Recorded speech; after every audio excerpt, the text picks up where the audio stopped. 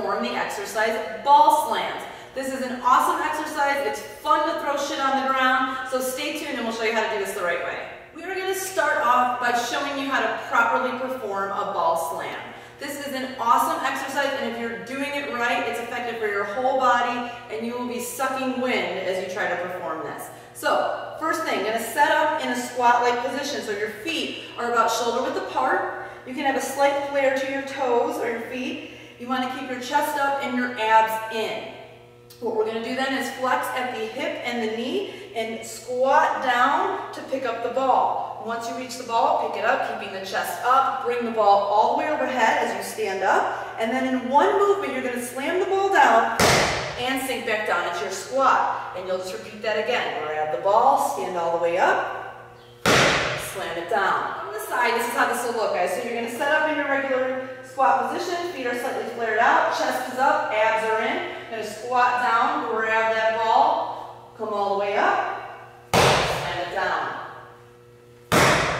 With the ball slam exercise, there's a lot of mistakes we commonly see people do when they're trying to perform this drill. And mainly that's because this is a squatting exercise and many people struggle with properly squatting. So the first thing we see people do wrong a lot is hinging at the hip versus flexing at the hip and the knee.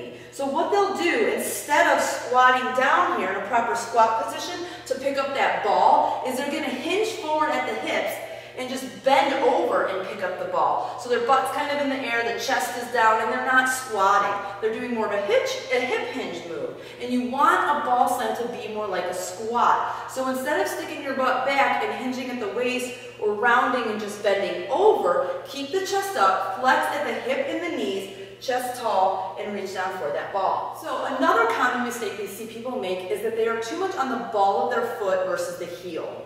So as they descend down into that squat position, they start to go onto the ball of their foot and they lift their heel up. And they may or may not end up on their heels as they come up. But doing that can produce a lot of stress on your knee. So you want to make sure you're wide enough that you don't go to the balls of your feet, and you want to keep the weight bearing down on your heels. So as you descend into your squat, drive the knees out towards your pinky toes, keep the weight bearing in your heels, and then stand up with the ball. Make sure not to lean forward and go to the ball of your foot. Another common mistake we see with this exercise is being knee knocked. So as they squat, they'll drive their knees in versus out, like I was saying in the last tip.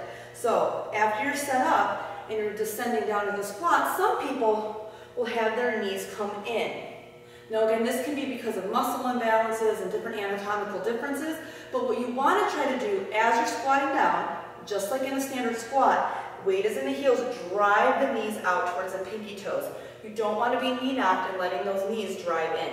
So drive them out towards your pinky toes and then come up. And even as you come up, you want to make sure you're still bringing those knees out. So an upper body mistake we commonly see with this exercise is a rounding of the shoulders.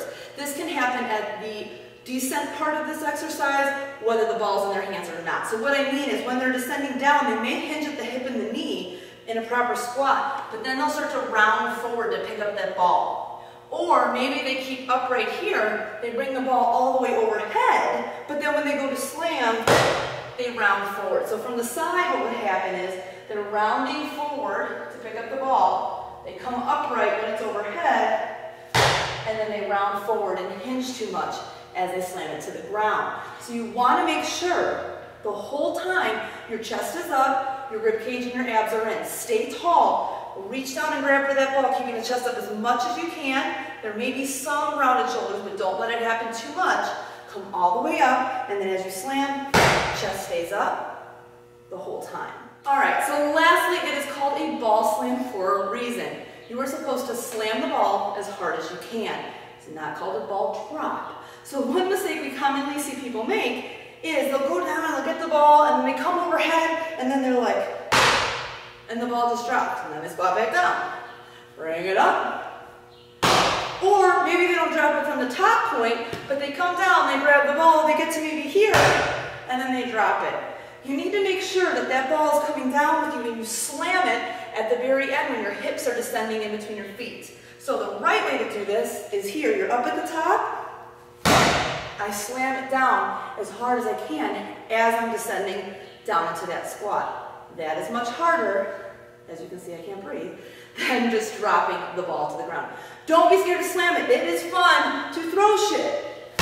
Slam the ball. The ball slam is a great exercise. It's a great conditioning drill. It's a great anaerobic drill. Just need to make sure you do it properly so you get the most out of it and you're safe.